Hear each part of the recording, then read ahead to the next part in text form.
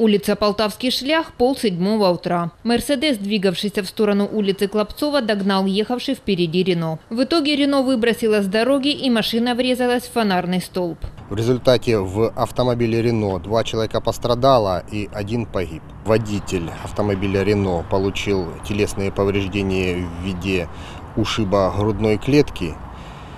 Э, пассажир автомобиля Рено получила э, телесные повреждения в виде э, закрытой черепно-мозговой травмы, э, сотрясения головного мозга и э, ушиб грудной клетки и э, шейного отдела позвоночника.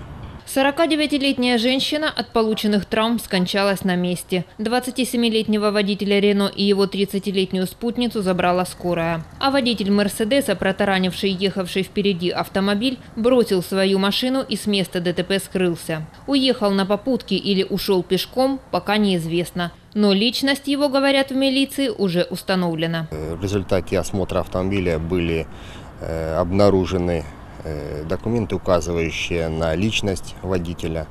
В ходе проверки этих данных было установлено, что именно этот водитель управляет автомобилем. По поиску водителя «Мерседеса» сейчас проводится весь комплекс оперативно-розыскных мероприятий. Установить местонахождение подозреваемого, говорят в милиции, просто вопрос времени. Галина Шподарева, Александр Романовский, агентство телевидения «Новости».